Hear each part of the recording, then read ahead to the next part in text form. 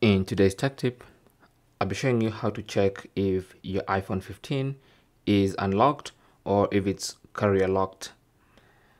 So I have the Pro Max here, but this works on all the iPhone 15 models. Simply go to settings and on the main settings page, scroll down to general, tap on that and then tap on about. Now on the about page, you should see a lot of information. If you scroll, you should get to the part where it says network provider lock, and then you can tell if there's a restriction or not. So currently for me, as you can see, it says no SIM restrictions.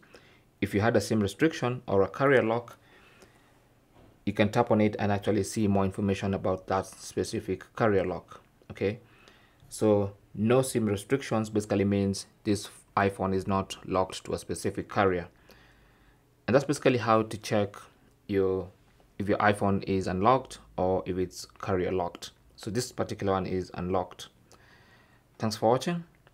Comments and questions down below and good luck.